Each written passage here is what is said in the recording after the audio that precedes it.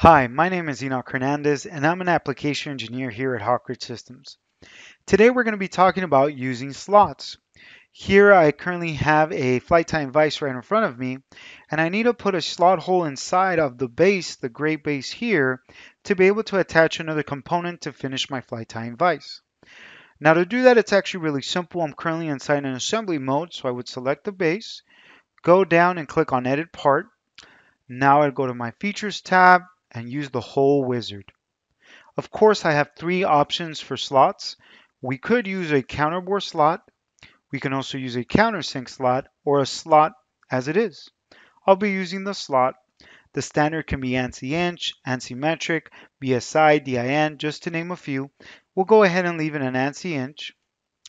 The type of hole can be all drill sizes, dowel holes. We'll leave it as a screw clearance. With the size of number 12, I'll leave it normal for the fit. That way it's not too loose, not too tight. If I go to close, it'll be too tight. There won't be any play. And loose implies that there's a lot of play involved. So I'll go ahead and leave it normal. Now for the length of the slot, we're going to leave it two inches. I could do an overall length, or I can do it from center to center inside the slot. I'll go ahead and cut to a depth about quarter of an inch. Now I can go to positions, select what I want, drop it here. Now, if that's not the orientation that I want, I can always click tab and it'll go ahead and change it for me, right? Of course, if I want to go back, I can change tab and have it do that for me. This is exactly what I wanted. So I'll go ahead and click OK.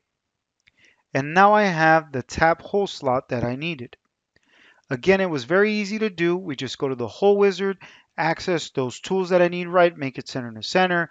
And of course, if I need to change orientation, I can hit that tab key there.